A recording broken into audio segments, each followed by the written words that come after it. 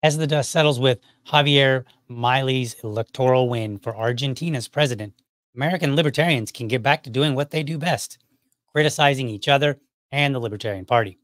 Despite the howls and criticism resulting in poor results, that is, convincing each other to do things differently, many continue to cling to their sunk cost more firmly than their liberties. Today, the Liberty Dad Show breaks that trend and brings on LNC Treasurer to uh, Todd Hagopian to discuss the most recent end of month financials and what they mean. So let's get Todd in here.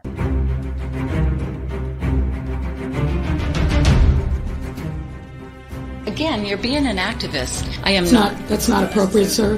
If you, who, who are you with? What's your name? That's not an appropriate question for you to ask. I do. I You're going to ask how many questions? You get three? you're a stupid son of a bitch. All right, folks, a couple quick things to mention here. This show is pre recorded because Todd and I just couldn't get schedules aligned for a live stream.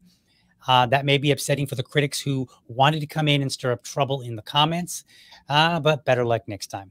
In full transparency, I provided Todd my questions ahead of time, with the exception of one or two. That's atypical from the Friendly Fire podcast or show, as the goal is to challenge my fellow libertarians, but without embarrassing them.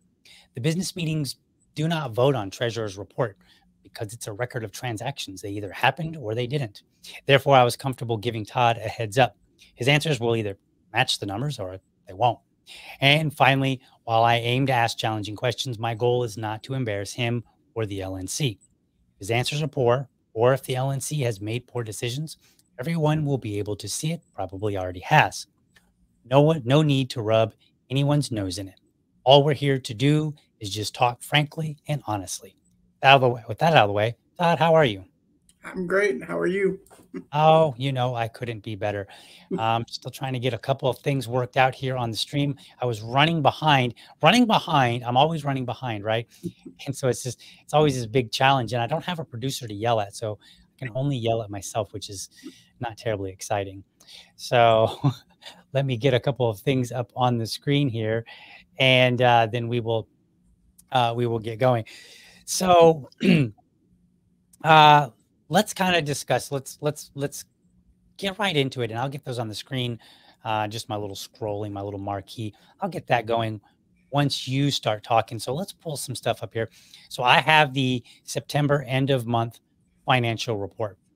And um, you know the first thing that i want to talk about is the very first graph that's on the uh, the sustaining members. So let's pull that up and i'm just going to move some move some things around on the screen so I can better see what I want to see here. So let's go here and we're going to, thought I had this all set up and terribly I did not. So let's go with one. There we are. And how about there? There we are. Get a little bigger. I thought there was a way for me to. Nope, that's not what I want. Let's go back to this. Okay, this will work. Okay, so looking at these numbers, I want to point out to some to people that I added some of my own coloring because I thought it was very interesting. Todd, you can tell me whether or not this is uh, an appropriate way to look at this particular chart. But in green, I have the presidential years, and then in yellow, I have the midterm years, which leaves uh, all the other years um, just kind of sitting there. Um, so is is that first a good way to look at this particular chart? Do you suppose in terms of finances? Yeah, actually, both membership and finances. It's a great way to look at charts in general. Uh, we should be looking at four year cycles and comparing the year to the previous year in the previous cycle. So, like 2023 would be the equivalent of 2019 in the last election cycle. Okay, awesome. So with that out of the way, now we we know how we're supposed to be looking at this. I'm going to margin it just a little bit. I think that works a little bit better. So I, I have my questions on it. 2023 is the year after midterms, which coincides with 2019, 2015, 2011, and 2007. So, what is your takeaway on why 2023 is lower than the years 2016 through 2022 because 2015 is the only year that even really I mean I mean I guess you can look at 2006 uh, but if we're comparing like numbers to like numbers then 2015 is really the only year that kind of comes close. So what's your takeaway? Well, if you look back through 2008 there there's really only two post-election years where membership rises. So typically you will see a membership drop off after an election year to some degree. Are obviously by the chart you can see that it's larger here. And so one of the things you and I talked about is there's two times when membership will typically drop off. One post-election, and that's usually just a you know exit of excitement based mm-hmm. on um, based on you know you get a bunch of people excited and then they may or may not rejoin or renew the following year and there's not as much getting people new people excited uh, during a non-election year so you lose renewals and then you don't get as many joins and that causes membership to go down the other thing is obviously party turmoil if you have party turmoil there are going to be people that are deciding not to renew. There are going to be people that are deciding not to give as much, you know, and these kinds of things. So obviously, 2023 is probably a great example of a year when we have both. Gotcha. Um, do you do you anticipate this getting better or worse? And I know that's kind of like a basically a swag, you know, a scientific wild ass guess. Um, yeah. But just if you had to guess, what would well, you, what does your gut say? Yeah, I mean, typically in an election year, specifically presidential election years, mm-hmm. you do see you do see it going up, right? So you can see back there in the four presidential years that you've got noted, there's only one that was a mild upward, and everything else was pretty dramatic upward. Right. Um, so we do get a lot more excitement during presidential years. You've got, you know, usually big races in most states, and then on top of that, a presidential candidate to rally around. Um, I would anticipate that it starts to turn around. Do I think we're going to get a huge spike? That's probably going to have to do with who our nominee is right. and and how fractured the party is after a convention. Gotcha. Okay. Um, let's see. Let's move on to so here's an interesting thing. So I wanted I wanted to talk about the membership in specific because one of the things that I learned, and I learned this through a combination of this report and then my own personal experience. So a while back, and we talked about this, my uh, my membership card showed that it had expired. I was doing some cleaning on my desk, and I looked at my card, and it showed that I believe it showed September, and this was in October, and I was like, oh, like my membership expired, and I was like, I didn't get a renewal letter. And so I looked in my email and I didn't see anything. And I know I hadn't seen one in um, in the snail mail. So I reached out about renewing, and the email response to me uh, said, "Hey, you donated fifty dollars to a theme contest earlier in the year, so therefore your membership ha- uh, has extended. Um, I think it was till June of 2024 uh, to be a sustaining member. So that was new to me because apparently in our bylaws, if you donate money, $25 or more, then that puts you as a sustaining member. Um, am I missing anything there so far on, on the bylaws? Uh, no, $25 or more donation over a 12 month period of time, along with signing the non aggression principle. Right. Um, and uh, and that goes for any donation of any kind, right? No matter it doesn't have to be does it doesn't matter, correct? There's a little bit of there's a little bit of discussion about that. Uh, there's a little bit of disruption about whether or not convention tickets and merchandise count in that or not. Okay. Um, but yeah, it's supposed to be uh, based on how the CRM grabs BSM.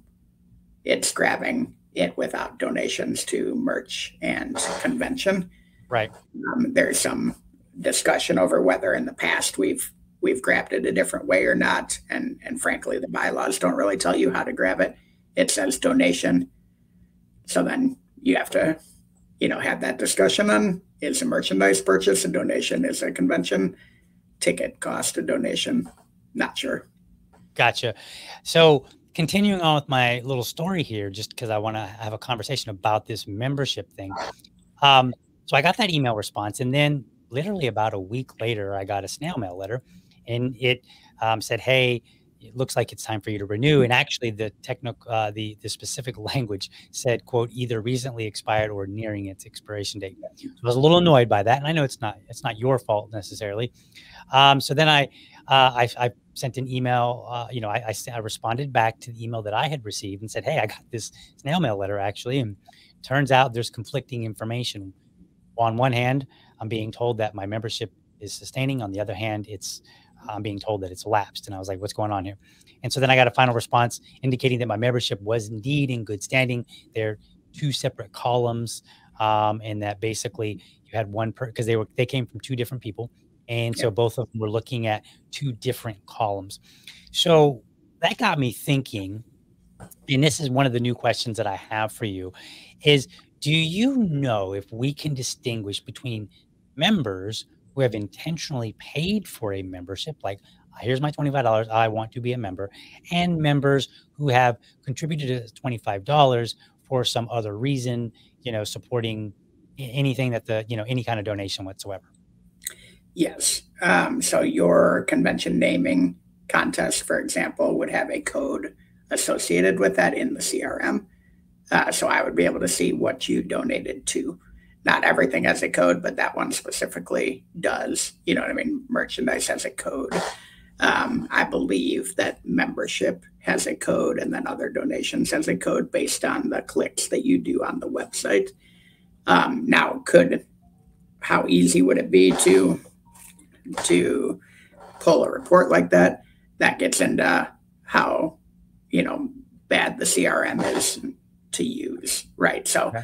Part of part of the issue that you're talking about here is um, one person pulled a report that that looked for BSMs and said, "Yes, DL, you're a BSM."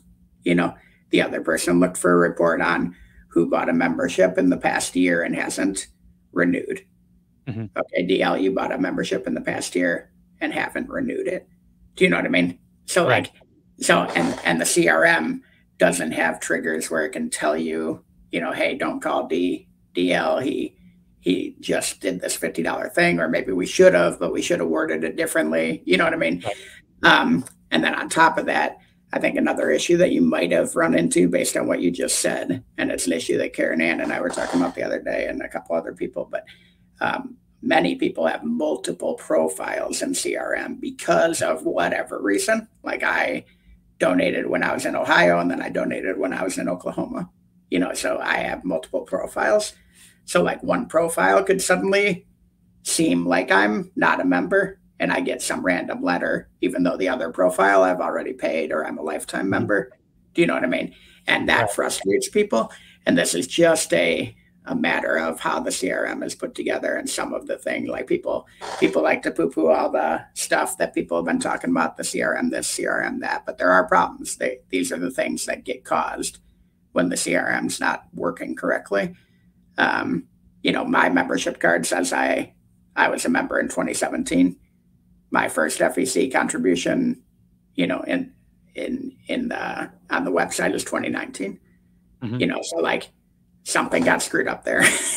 like obviously right. I remember because I got a card, you know what I mean? Like so these kinds of things happen. Um, so I don't know how else to say it other than that CRM needs to get cleaner and that's what we've been working towards and it's just mm-hmm. been a slog. Right. No, I so I work with data all the time and I do yeah. understand the challenges that come with it. Um, there are a lot of considerations. Now, I will say, now you don't need to make any comment here. Mm-hmm. Um, I will just kind of give my two cents because, it, you know, at this point now we are recording this for other people to see. I will say that I think one of the, you know, and I'm sure there are many priorities. One of the priorities that the LNC needs to have is to identify um, one way to pull this information and to determine, you know, um, you know, because two individuals were giving me two different answers. Yeah. And I felt like that was a bit of a problem because we are in a situation where, you know, people are being very critical uh, about the information. And so I think it's, you know, one of the things that we need to see is something more consistent. But on the other hand, I'm not going to give the current LNC too difficult of a time because uh, the first thing I would have to know is how frequently has this been done? How frequently have reports been pulled that differed in information? Um, sure. I assume it's not just this LNC, um, but if it is, well, then we're back to you know criticism and saying, hey, let's figure this out so that we yeah. get so people like me know exactly where I stand and I'm getting the right information. Because yeah. I tell you what, you send me an email that says, "Hey, you need to re-up." You you know you might you may or may not get a response from me because I'm terrible about email. Yeah. You know, it just so happened that I got one in the mail, and in the other case, I specifically reached out. So when I got a response, I was I was waiting for it. Yep. And that's fair. And and just to be clear, you're not the only one. So like I was given 150 names to follow up on, mm-hmm. and frequently got the response that I'm a lifetime member, or I renewed two months ago, mm-hmm. you know, or this and that. And you know, I'm I'm the treasurer. I got 150 names. I'm following up with these people, and and frequently got that answer. Um, and I was told, you know, this is the situation. They are, they have missed renewal as of XYZ, you know what I mean? And it just wasn't the case. Um, so, so there is an issue with the data from a previous LNC to this LNC. I'm not gonna, I don't know the previous LNC, what their, how often this happened with them. What I can tell you is what this LNC did do, right or wrong, mm-hmm. was this was a multiple year migration towards Civi CRM. Right. And staff had wanted to cut out Raiser's Edge for a long time and move fully to Civi CRM so that there is only one CRM system, not 2 mm-hmm. And this LNC said yes to the staff middle of 2022 and allowed for that migration to happen. Um, and that supposedly the story is is that that stopped some of the ease of getting this information and ease of going after renewals mm-hmm. is the story. I don't know. It, it's hard to it's hard to track like how bad this is now versus how bad it was before. You know right. I mean? Right. So. Uh, yeah, I understand. And it's it, it uh, see this is part of the reason that i wanted to bring you on is i wanted to have a conversation. I wanted to ask my questions yeah. because i know that other people raise a lot of questions and sometimes they're good and then sometimes they raise some criticism and and it's not so good. Um, and when it comes to data in reporting um, libertarians have themselves criticized entities namely the government for mm-hmm. changing how they report things which can make things look better or worse Sure. Um, and sometimes it's intentional. Sometimes it's, hey, we did something, we made a change, and maybe we shouldn't have done this. Yeah. Uh, whatever the case may be. So I want to be very careful in how I criticize because at the end of the day, all I care about is what do the numbers say, and sure. then what do we need to do. Now, here's another question that that I kind of just thought of. Um, do uh,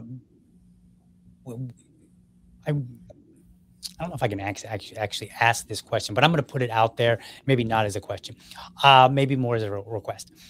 I would like to see what the sustaining members look like over the you know over the years of people who explicitly signed up.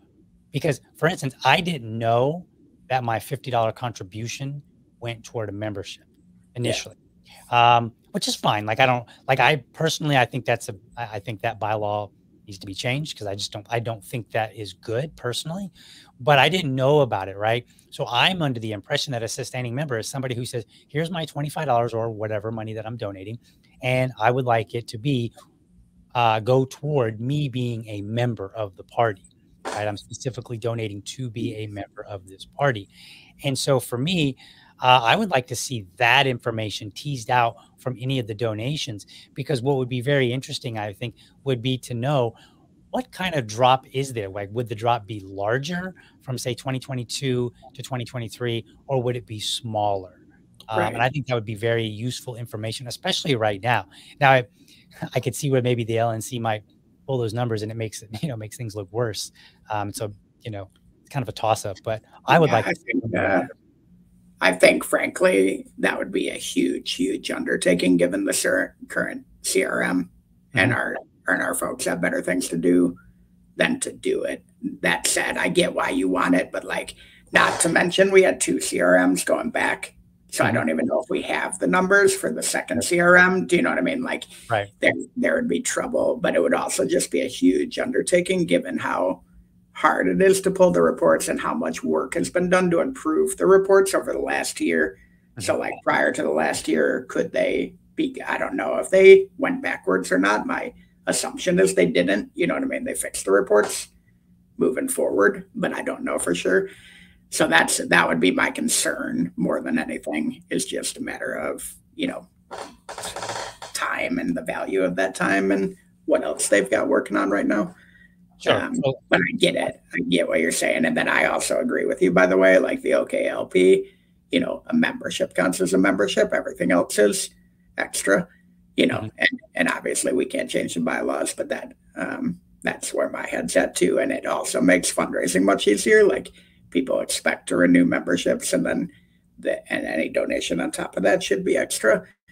You know, that's, that's how it should work, but it doesn't. So it doesn't. So. Right. Well, anyway, that's just part of the conversation that you know that I think is worth having.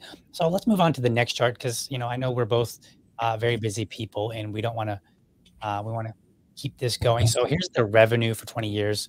Um, let's make that a little bit bigger here. All right. So this one is probably an easy one. Now I'm going to put my cards on the table for people. I do not read financial reports. So I may ask questions that are in ignorance, um, but I assume that other people in the party uh, do not read financial reports either. So I'm comfortable putting myself out there and saying, "All right, here's this question I have. What what say you?" And we'll go there. So um, in this particular chart, uh, let's see, we're, the target. So we have two. Uh, I'm sorry, am I, am I looking at the? Oh, Yes, I'm sorry. I was jumping ahead to the next question that I had. So my bad. So why is the projected revenue so low in 2023? Yeah. So a couple of reasons. So first, first off, let's talk about how they do this chart, which is probably not the best way.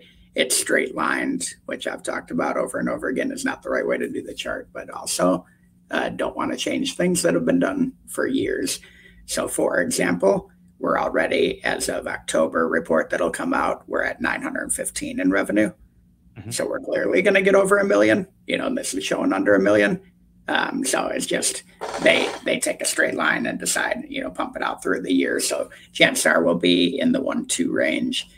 Um, uh, but why is it down? It's down for the same two reasons I said before. You know, lower membership drives uh, lower fundraising. So we typically we'll end up getting a certain dollar per member per year, and that's in a relative range. You know what I mean? So if you lose a couple thousand members, and and you're making 60 bucks a member you know you're going to lose a lot of money um, and then on top of that if you don't have events so for example a lot of times people don't like to remember this but 2022 we had a convention that brought in over $500000 Mhm. And that's in those numbers Okay. so take out the convention, you know, and it drops 500 grand, you know, and so same thing with 2020 and 2018 and 2016. And now all of a sudden, 1.2 doesn't look, you know, obscene. It's still bad, but it doesn't look obscene because all of these big years that you're seeing are dropping $500,000, you know, or 300,000, whatever that year's convention was. So, so it's a bad year. No sugarcoating it it's a bad year because low membership. It's a bad year because infighting in the party. Um, but there is something to this chart that this chart is terrible. Let's put it that way. It's just one of those things that it's legacy, and I don't feel like I can take it out. Otherwise, I'm doing what you said at the beginning and saying like, "Wow, this is a dumb way to look at it, so we're not going to do it anymore." You know. Right. No, I, I agree, and I think I think we run the risk of having, um, you know, more questions uh, that that don't bring edification to the party when you just if you start changing the way you do it. Now, I, I think in addition would be a good thing, and then maybe saying, all right, we're going to add this new chart in, but Yeah. we're going to phase it in and phase the other one out. That way, people feel confident that hey, we've just found a better way to present the information. Yeah. Uh, you know, so when I was saying earlier, like split it out, split it apart, that would be in addition to. So I do understand, like, hey, if we have to pull this chart because we're not just going to dump it, and we're gonna now going to add two additional charts, yeah. right? Um, that's more work that has to be done. Mm-hmm. Um, and then you have to because they would be new charts, you have to make sure that hey, you have to validate everything, yeah. uh, so that your numbers are good and they and they do say what they appear to say, and that there was nothing you know that needed to be adjusted in pulling that report. Yeah, I totally understand it. Um, you know, but this is just one of the things that jumped out at me because I was like, yeah. hey, wow, it's it it is a huge drop, and it's mm-hmm. uh, unfortunately in, unless you look at 2009 and 2015, it's a fairly significant drop from most years, I would say. Yeah. Yeah. Um, you know, and I would have to look at the numbers a little bit more closely uh, to, to make any more comparisons than that. But just kind of offhand, I was like, wow, that really stands out. Yeah. I mean, so, so for example, last year would have been like, let's see, I don't have enough. Last year probably would have been like one five, and this mm-hmm. year will be like one two. So I mean, it, it is a significant jump or a drop, but it's not you know, it, it is not anywhere near what it looks like. But right. um, but what I did like about that conversation there is could I make a non-convention version of this, you know, and drop it in also so that the numbers shrink and we can kind of see the actual non-convention trend? Yes.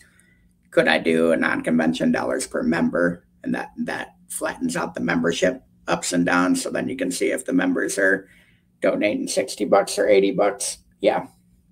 So I mean there's other charts that we could put in here, but again, I I'm always I'm always just a little fearful of like, you know, not trying to not trying to make us look good. That's not the point of the treasurer. I know some people think that's what I do. That's not what I do. Otherwise I would have changed all this. So right.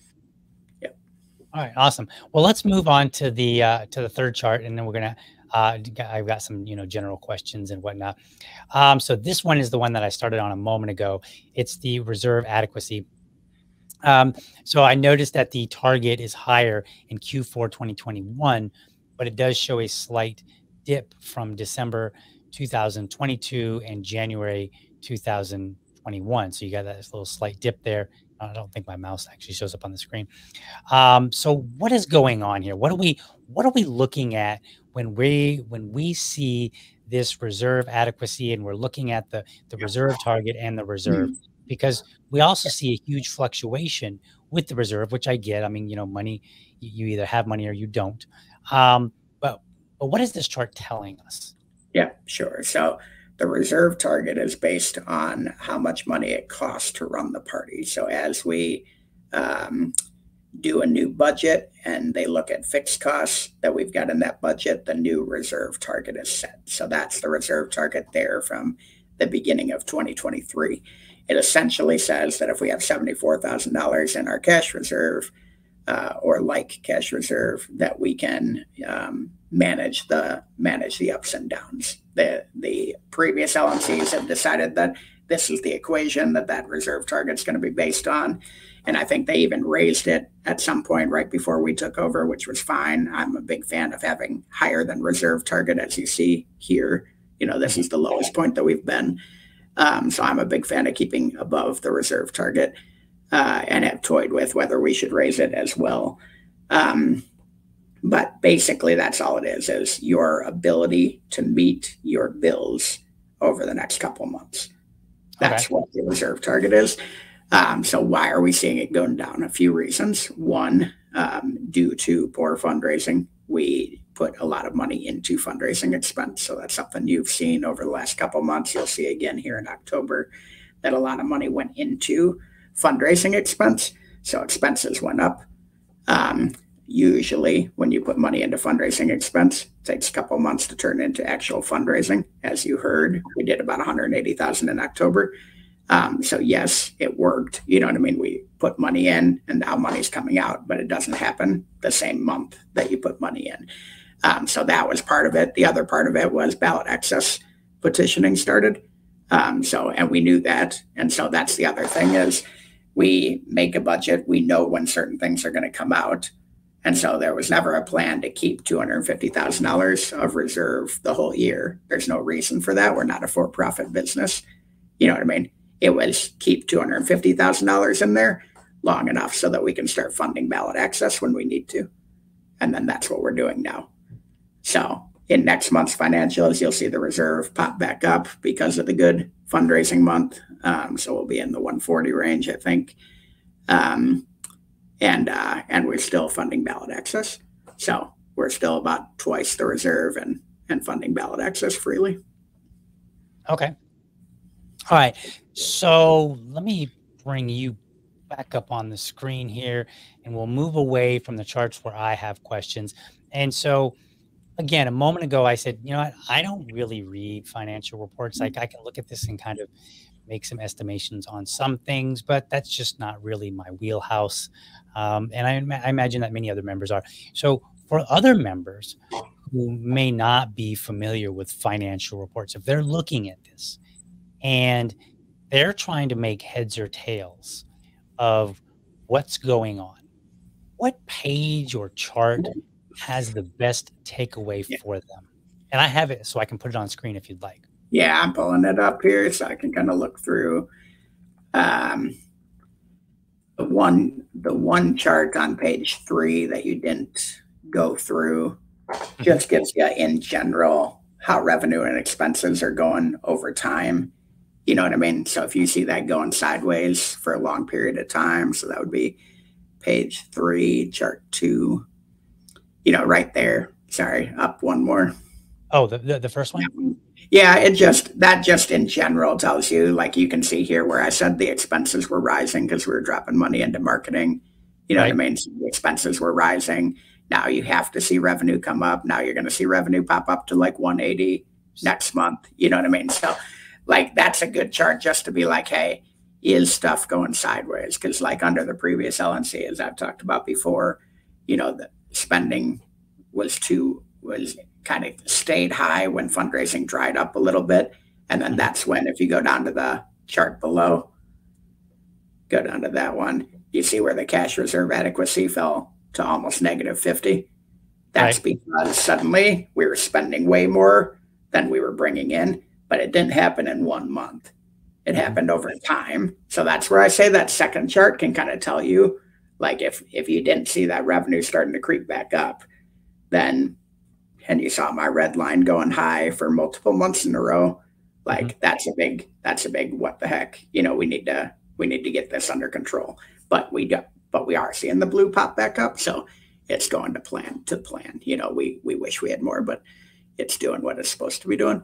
The other page um, that I would probably look at, and it is a it is eye chart, um, but it tells you. Let me see if there's an easier version of this page. Um, yeah, probably if you were to look at page four, the P&L account summary by month. Yeah, that guy right there. And okay. I know that that's going to be hard for people to see here. Um, but basically, this is the simple P&L where you can see total revenue and total expenses. You know, and then what was our net operating quote unquote income? We're not a business, but income. Um, and this is another one where you can just see, okay, like, uh, is our revenue going up or down? Is it going, uh, our expenses going up or down? And then our expenses here are kind of chunked into nice categories where you can get an idea.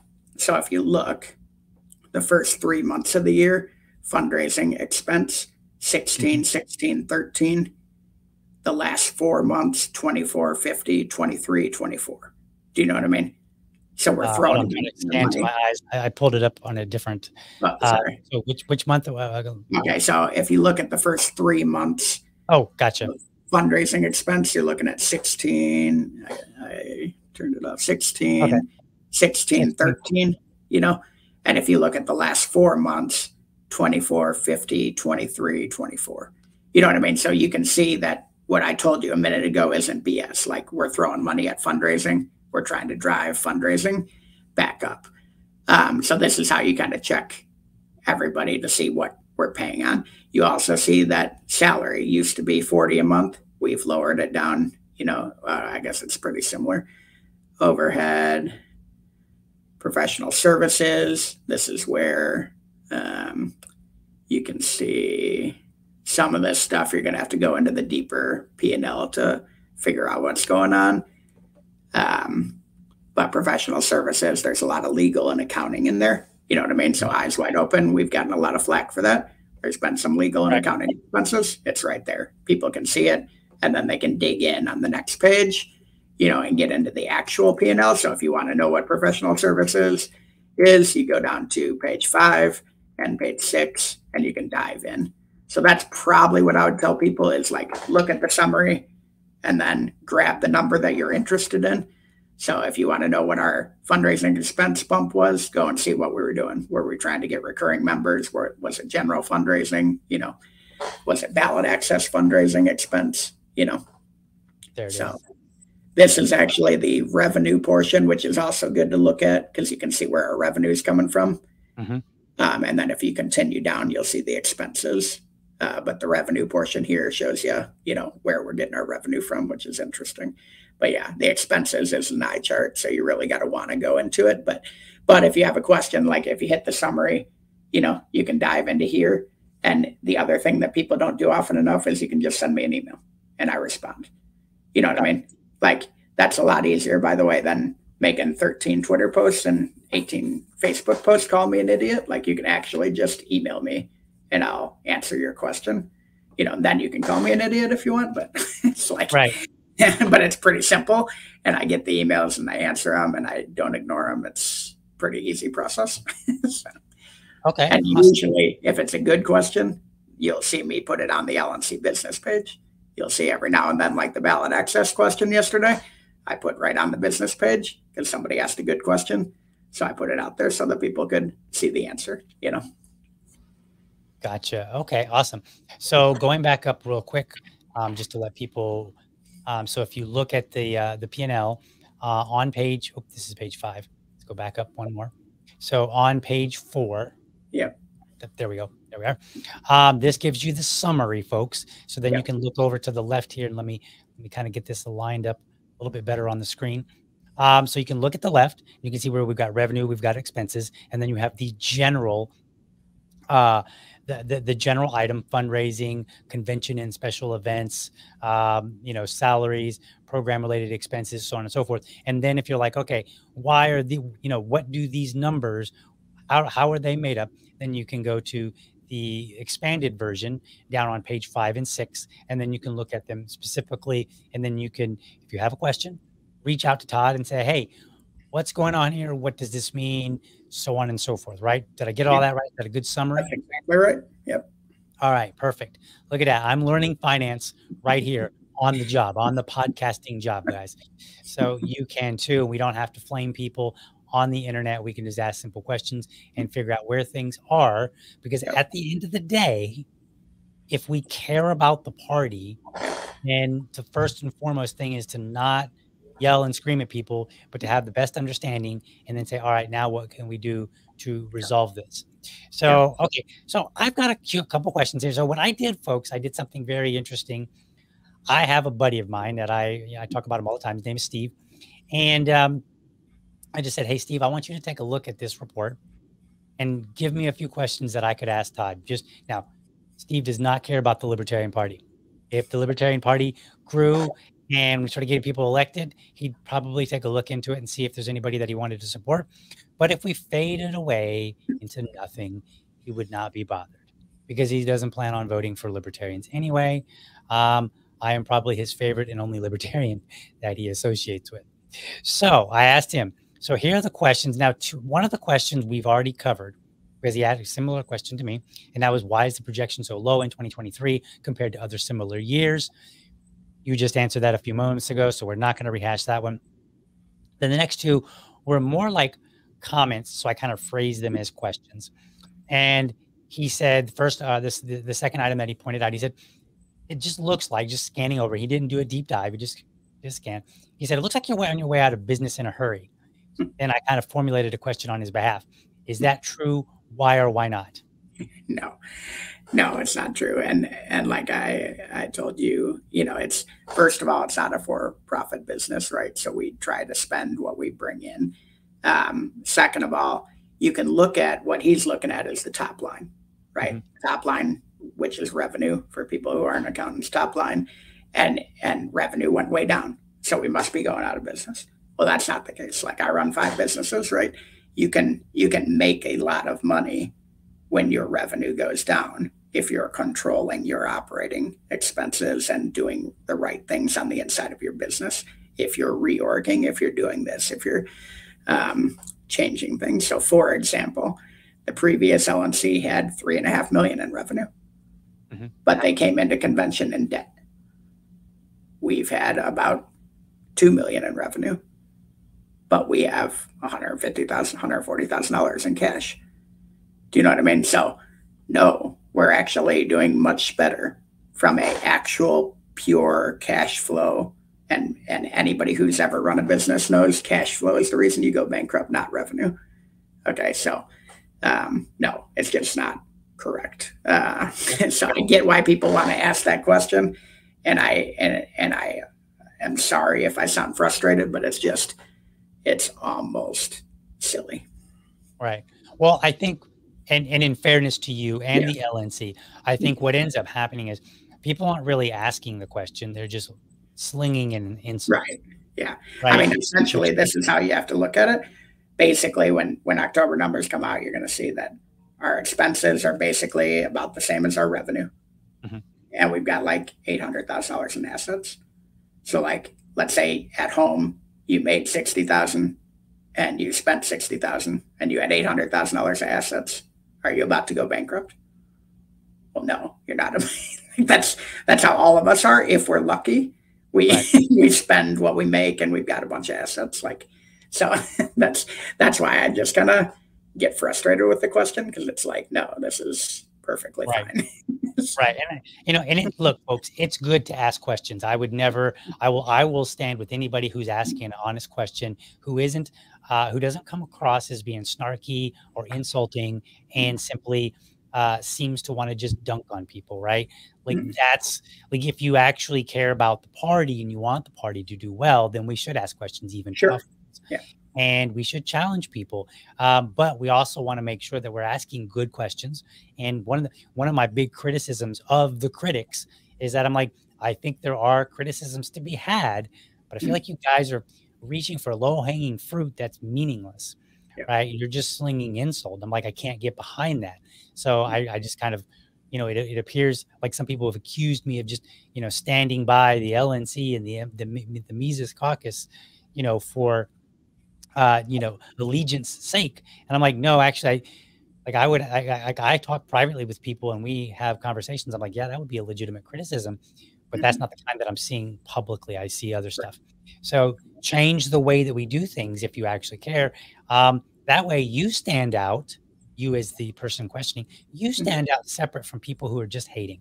Sure. Um, you know that way that way todd knows who to who, who to actually address cordially and that way he knows who to kind of thumb his nose at and be like i don't even care all right uh, here's the next thing that steve mentioned he said why do expenses seem constant despite the low 2023 projections, which I think you kind of answered that a moment yeah. ago. And you said, hey, look, so, we spend what we bring in.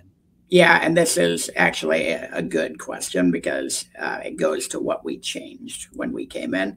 Um, so we used to do straight line budgeting, which is where the ex LNC got in trouble, as they they thought they were going to spend this much and they thought they were going to make this much, and so if they were going to spend to 1.2 million, they would spend $100,000 a month you know that's how they budgeted. That's not how they would spend. They might spend 150 or whatnot. What we did is very purposefully made a month by month budget and published it to the membership and said we are going to start slow and spend low.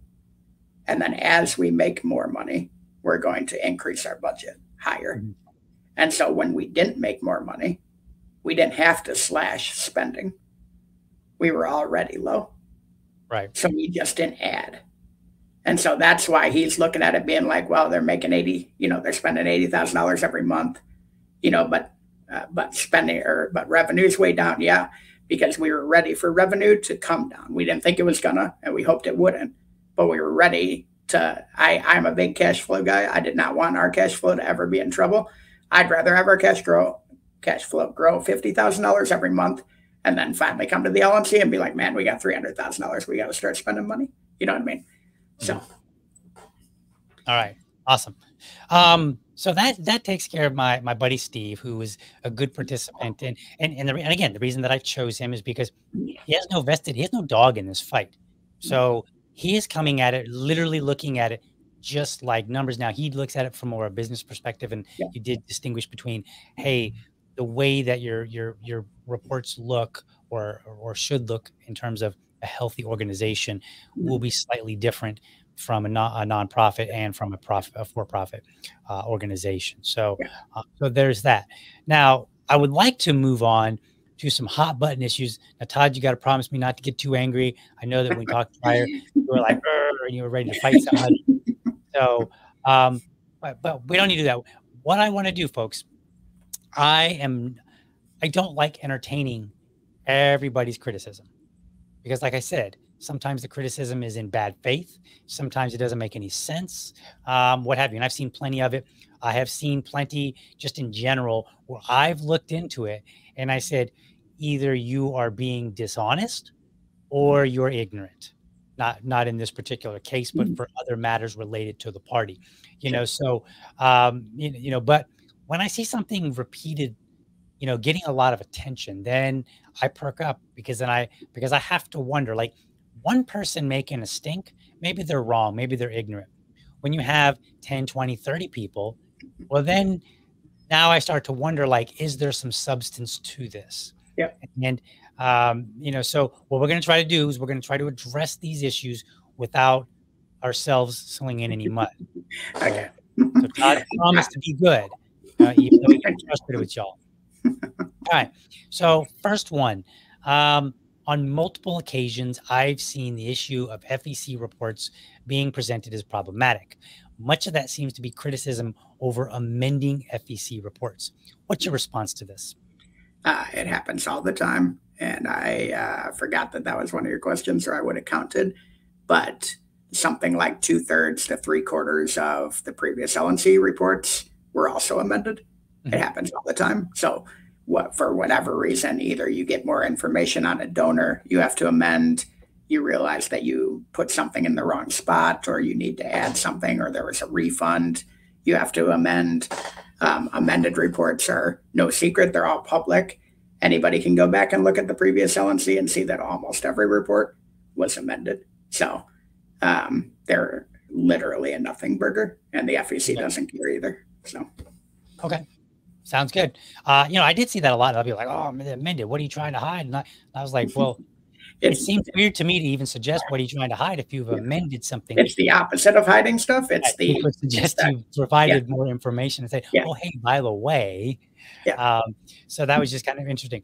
All right. So this one, uh, so this next question, um, we're going to try to be very careful on how we how we respond to this one because it does involve another LNC member. So this one's a little bit less treasurer specific, but more related to leadership on the board. So the chair has been criticized over uh, bringing um, her significant other, Austin Paget, over to fundraise. So my question, so this is not so much uh, a question of, you know, but you can answer it as your treasurer if you have some pertinent information. But how did this happen procedurally? And then tell me about your votes. Sure. Um, so Austin did some fundraising at, I want to say it was Freedom Fest. It was one of the summer events. Uh, he was down there doing fundraising for free Mhm. uh, and did a great job. And at some point in time, Angela had asked me like what I thought about it. And I said, yeah, I don't, you know, if the EPCC is fine with it, like I, contrary to popular belief, the treasurer doesn't make these decisions, right? So I gave my opinion. I said, yeah, it sounded like he did great at Freedom Fest, you know, um, and we need the help. You know, that kind of was my response. You know, looking back on it, would I have said those exact things? I don't know. Um, and and my votes reflect that going forward. Um, So um, when it when it kind of came to a vote on the LNC, I abstained, and I told Angela even in the meeting, like I um, am abstaining because I did give you that advice, you know, and had I thought it through and and realized what the general membership was going to think, I probably would have done something differently. You know what I mean? So I abstained on the first vote. Um, but it voted, it went through, um, and he got hired, and he did a really good job.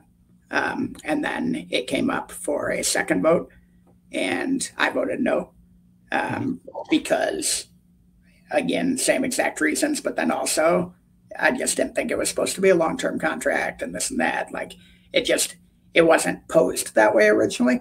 Now there's a lot of a lot of good reasons to vote yes, and I don't have any ill will against people who did. You know what I mean? We did have the hundred eighty thousand dollar month. If you can do that a couple more times, then I'm wrong. You're right. You know.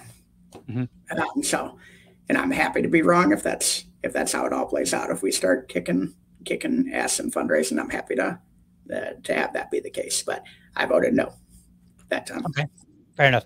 Now, I will say this is this is where I'm going to step into my opinion. You you don't mm-hmm. have to, you know, because I want to make sure that we're not trying to cause any dissent or yeah. ill will um, with the LNC because we we want the LNC to function. We want the government to not be very functional. We want the LNC to be functional. So I don't want to stir up any trouble. But I can say whatever I want because you know it's podcast and that's what I do. Um, in my opinion, I don't think, and, and I'm just saying this for people that would be watching to let them know where I stand on this particular matter. Um, I don't have, in general, a big issue with hiring family members. That is not generally an issue in terms of like, should it be allowed? Should it not be allowed? I don't really favor. Now, personally, I don't work well with family. So I don't work with like my wife and I. She she runs her own business. She's a real estate agent, and I've tried to get with her on some things, and we butt heads way too much. And so, as a rule of thumb, I just try to, you know, uh, stay out of the decision making and just kind of look at it more like, um, you know, somebody who is offering thoughtful advice, but not necessarily trying to be a part of it. Yep. So, I, in my opinion, I just I see a lot of family members where they don't necessarily work well together. So I'm a little skeptical in that particular regard. Um, on the other hand, I think it's pretty clear cut. Either somebody does a good job or they don't do a good job. Now, in this particular case, I would, if, if Angela had asked me and said, What do you think? I would have said, Do not do this hmm. because you're already under enough fire right now. Yeah. Or if you are going to do it, have him. I would I would have said do a couple of things. Number one, show some very clear, unambiguous wins. Hey, I brought in you know fifty thousand dollars on one phone call, whatever. I don't know. You know, I'm just making stuff up. You know, but like, I, here's what I did. Unambiguous results that people can that would be very hard for um, for critics to argue against. And then I would have said, number two, make it commission based. Uh, I think that would have been the most appropriate, particularly in this environment where there's a lot of spotlight and people are basically looking for things that could potentially be wrong. Yeah. And it would have been more of a do this in light of the optics, yeah. um, but not, I don't necessarily have a problem with nepotism necessary, especially in a smaller organization where we already yeah. struggle with volunteers. That is the problem here. You know, that's a huge problem in our organization. And, and what you just said, like Angela and I are good, by the way. Austin and I are good. I love Austin. Right. You didn't hear me say one bad thing about Angela or Austin. You heard me say a bad thing about me responding without thinking right. things. You know what I mean? So this was me going, yeah, as a treasurer, I need more money. Like, go get me more money. You know what I mean? so, and, and, yeah. And that's, I think, you know, it's kind of funny.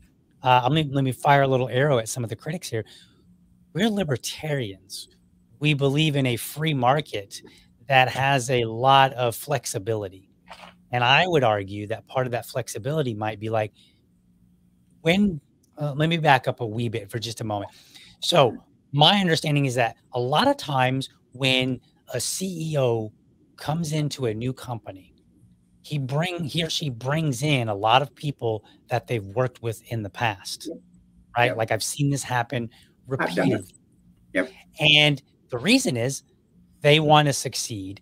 They're bringing along people that they believe will help them succeed. Now if that person happens to be a family member if you have a brother that's just really good at a thing if I'm the CEO and I have a brother that's just really great at fundraising and I trust him, why wouldn't I want to bring him on board? Right. Um, so to me, I don't have an, I have no inherent issues with the nepotism in itself. I think that's a meaningless criticism without anything further. Right. Um, now in this environment where there, you know, the, the LNC is struggling with membership, I don't know that that really helped. And I think the optics just made it a little bit harder.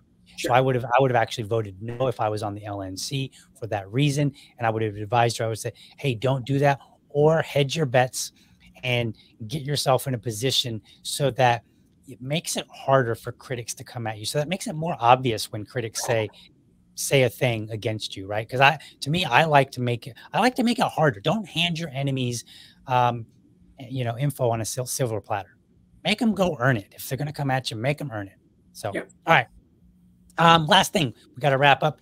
But uh, you just, and I saw this today. Uh, I, I, I hadn't even looked at, but apparently you've taken some fire over some budget amendments. so I don't want to walk through them all, but I do want to put them up on the screen a little bit here, and we can talk about them uh, really quickly and just kind of get that out of the way. So give me just a second here. Where's that? Uh, where am I here? Uh, let me pull this up here. So so I've got it, I'm pulling it up in two different places here so that I can read it more clearly. And then so it's also on the screen here as well. So let's see there. There we are. All right. And um, let's see, that may be hard to read. So I'm going to zoom in on that. We'll just scroll. I think that'll work. There. Um, and I think we just move you. We already know what you look like. We can move you over. so there. Perfect. All right. So I am proposing a series of budget amendments discussed at the last meeting for approval as a group. I'm seeking co-sponsors. Here's the motion. Uh, pass the following budget amendments in one single vote. I'm fine with that. We don't have to discuss whether or not it should have been broke out. Um, so you've got uh, revenue budget, uh, revenue adjustments, and then expense ones. And uh, I don't think that the revenue ones, correct me if I'm wrong, but I don't think the revenue ones really were the ones that caused a whole lot of, of issue. Was really the expenses here. So let's just go down here. And I've highlighted, I think, the important ones. The first three are kind of a collective because they're for the ballot access. So you were criticized for um, suggesting that the ballot access budget be reduced, but then you were also criticized for the budget for accounting going from 18,000 to 60,000, which uh, people would say, hey, like, we do this you you you signed on to do this job for free you're outsourcing for the for a cost so let's talk about this. Let's talk about the ballot yeah. access. You, you went around and you did respond. I can appreciate that. Not always so sure some of those groups that I saw you post in. I, mean, I think it's fair of you to go in there and do that, but I kind of see them as just very yeah. hostile territory where people aren't interested in a real answer. So yeah. for folks who might be willing to entertain your response, honestly, how do you answer the budget or uh, the ballot access? Sure. So I'm pulling up mine so I can kind of walk through it. But basically, I gave them five points on this ballot access. Um, so, first of all, the equivalent year in the previous cycle was 2019. The LNC spent zero dollars on ballot access in 2019. So, everything we spend this year is incremental to what we spent the equivalent year in the previous cycle. As of October, will be around 40 grand that we've spent this year already. Um, Two, we budgeted an enormous amount for ballot access this year because we had retained far fewer states with ballot access during the 2020 presidential run than we had during the 2016 presidential run. And we wanted to be able to support any state that allowed early petitioning and who had a plan to do so. So that's two key things. You have to have a state that actually is allowed to petition early, and then also a, a state LP that is willing to do so. If you don't have those two things, you cannot fund a petition drive. Uh, so we don't do petition drives without states helping us, right? Okay. Um, so, so, let me ask you. I want to. Yeah. I want to push back. Maybe I, I think yeah. this is a pushback on that. So, at the time of making that budget, yes. was not that information known? Both pieces. The which states uh, would even allow it, because uh, I would assume that we should have that information somewhere. Um, and then, uh, of those states, did we not reach out and say, "Hey, do you think you're going to want us to assist with ballot access petition?" Uh, did we not know that from the outset? So, a couple we? answers. Couple answers here.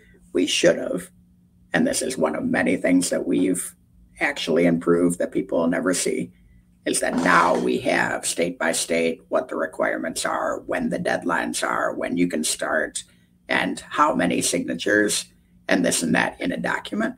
That was not there when I made the um, when I made the budget, nor was there any kind of estimate other than the total ballot access is probably going to cost this.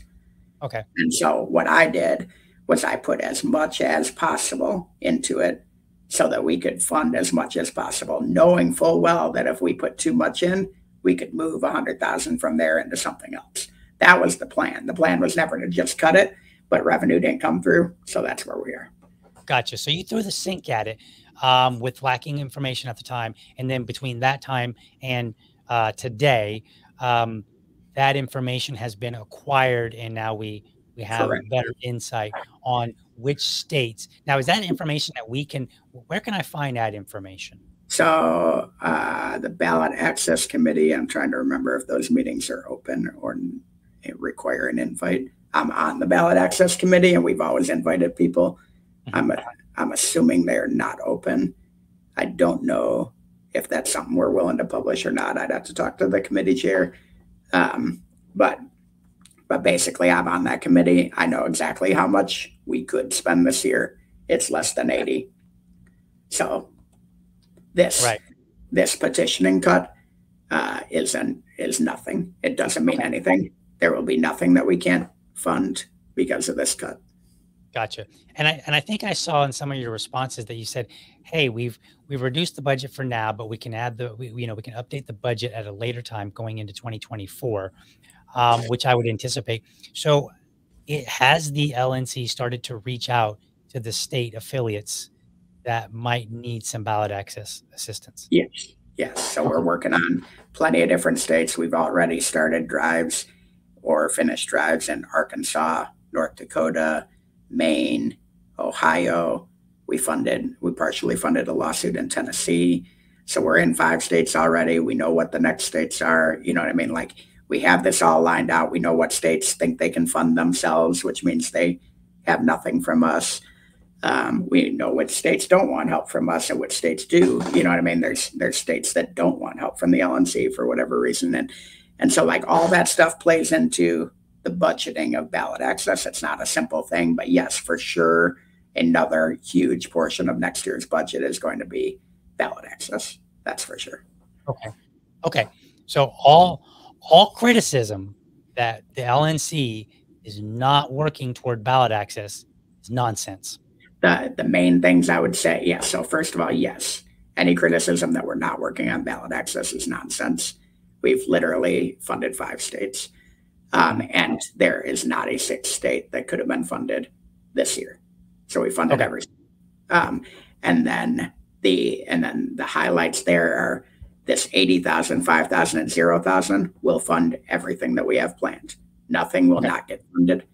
Um, and so, yeah, I don't, there, you know, I get the criticism, but it's only because they don't know that this will fund every single thing that we could possibly fund.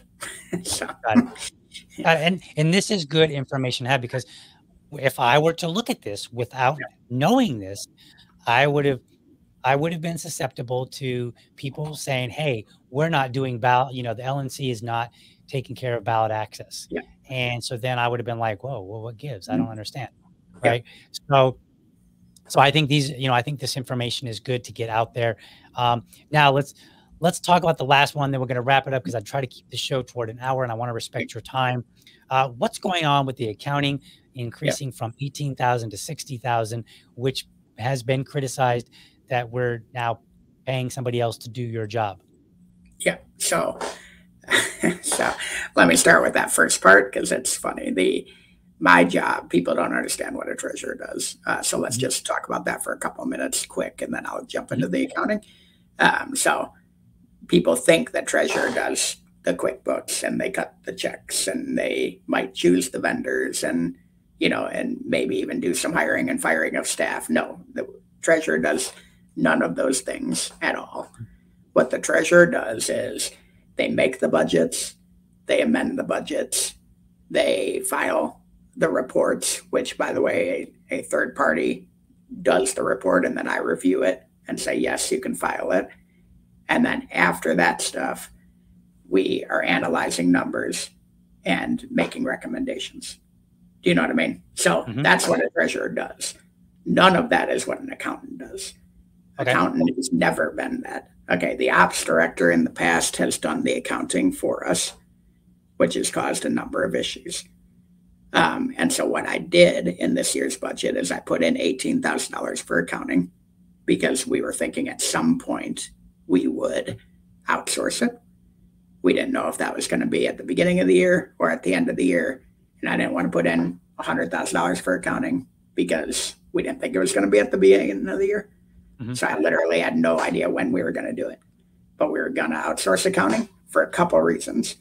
When you outsource accounting, you take that um, basically knowledge and and responsibility off of one person. So if that person goes on vacation, you don't suddenly can't file a FEC report.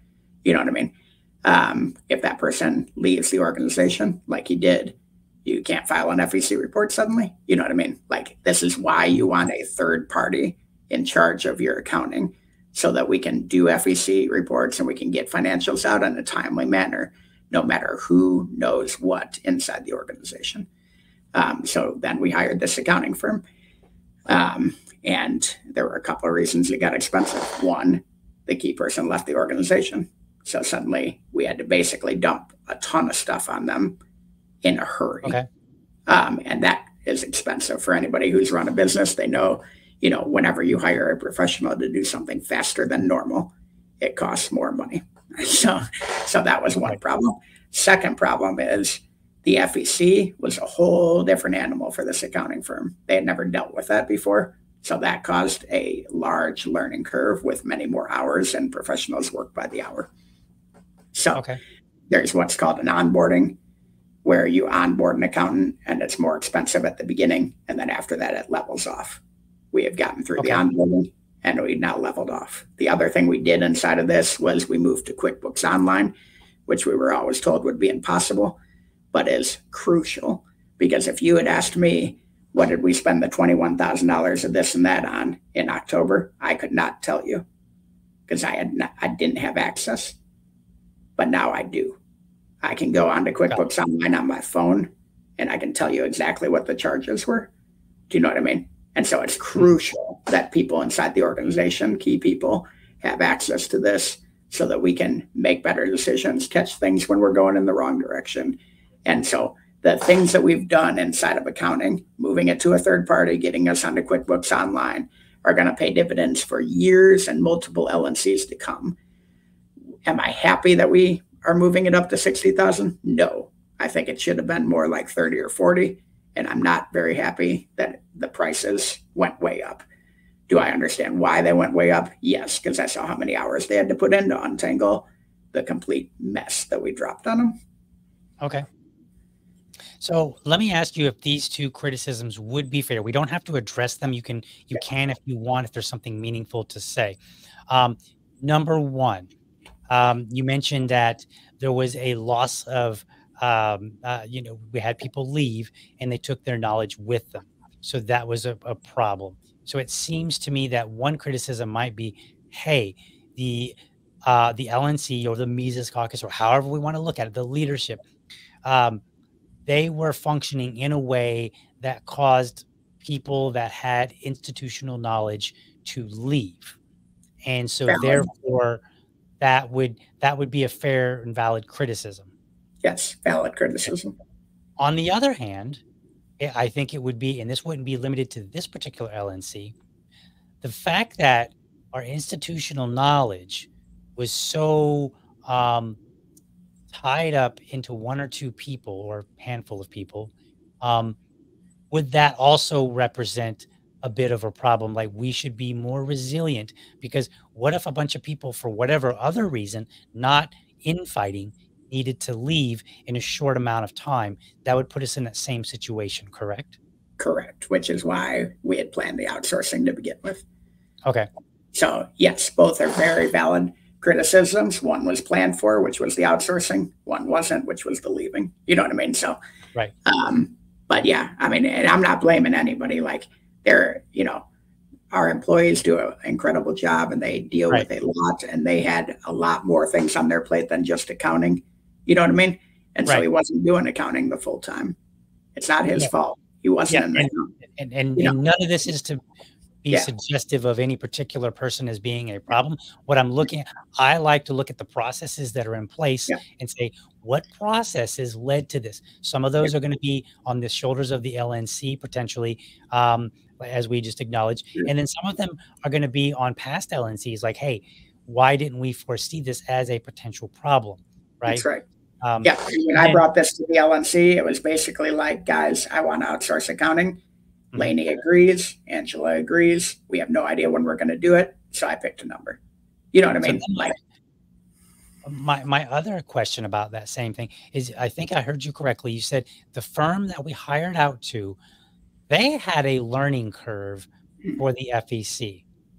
So, did we not pick the right firm? Should we have picked a firm that had more FEC knowledge and so therefore that part of the learning curve or was it a learning curve specific to our organization? specific to our organization? That's a great question and a fair question. Uh, but what happens is we have an FEC consultant that puts together our reports. So that's not what we're talking about here. What we're talking about is the output that goes to that consultant. Mhm. And the output is very, very specific to Civi CRM. Okay. And, and quite frankly, I, I have no qualms in telling you that the accountant said that Civi CRM cost us a lot of money Okay. because basically they had to learn it. Do you know what I mean? They had to Mhm. learn, and we have a different version of Civi CRM than is out there in the public. Like we've built our own, and we've got these books of like this is how you pull everything. You know what I mean? And and they just had to learn it, and it just took hours of professional services. You know what I mean? And so. And and again, if we went to a different accountant, we'd have to learn it again, you know. And so like eventually when this was going to get outsourced eventually, these costs were going to come. You know, had it been done 10, 15 years ago, the cost would have been a third because of inflation, you know, but now we didn't and it's 60 grand. So Got it. So, final question on that. When can members and how will members be able to see a return on that money? on the accounting money, Yeah. Like, like Yeah. how will they be able to know, hey, that like Yeah. we can criticize now and say, oh, should we have spent that money? Blah, blah, blah. But then if we say, all right, needed to be done, when, at what point will members be able to look back and say, you know what? Turns out that was it was painful, but it was it would ended up being a good thing. How do they we will never be able to see a return on investment on accounting dollars.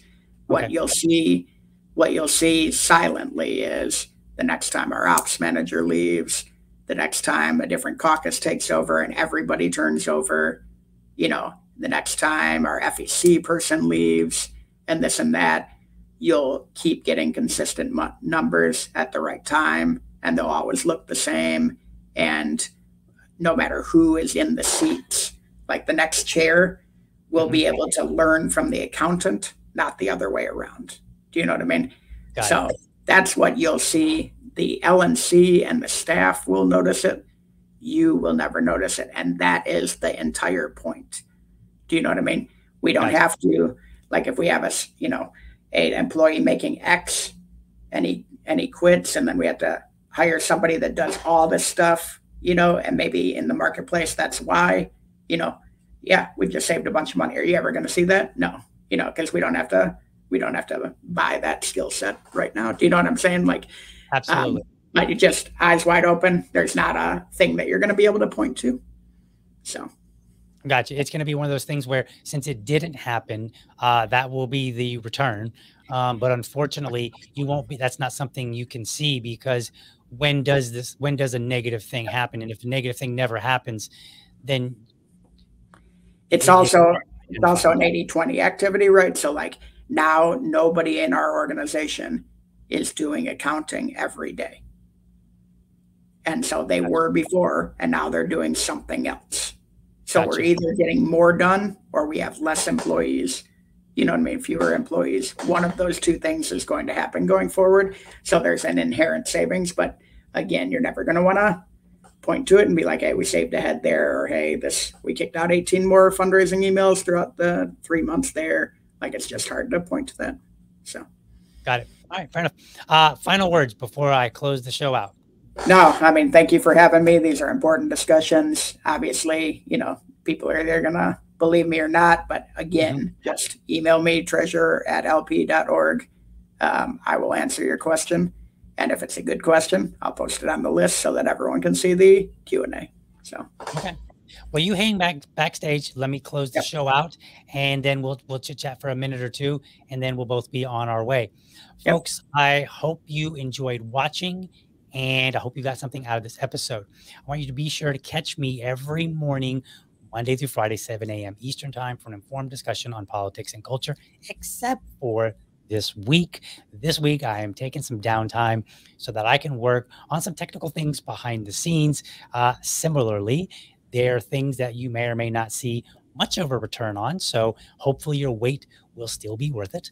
Um, but Monday mornings, Monday through Friday morning, 7 a.m. Eastern Time for an informed discussion, politics and culture. And then on Sunday nights at 7 p.m., where I bring on Susan Hogarth, we discuss LP happenings. We look across the vastness of tyranny that exists in this United States, and we say, what in the world is the Libertarian Party doing? And we bring that information to you every week on Sunday at 7 p.m. Be sure to do all the proper audience actions. Subscribe to my YouTube channel subscribe to me on Rumble. You can go to youtube.libertydad.com, rumble.libertydad.com. You can find me there, subscribe, like the videos, drop in a comment, let me know. Um, don't drop any comments necessarily to Todd, send them directly to him uh, because I don't know that I can guarantee that I will take the comments, you know, any comments directed to him from uh, this episode and get them to him. But otherwise, I do try to read the comments. Otherwise, remember if you're a champion of liberty, your business is people and your product is liberty. I want you to have a great week. Catch you next time. Next time being this Sunday coming up,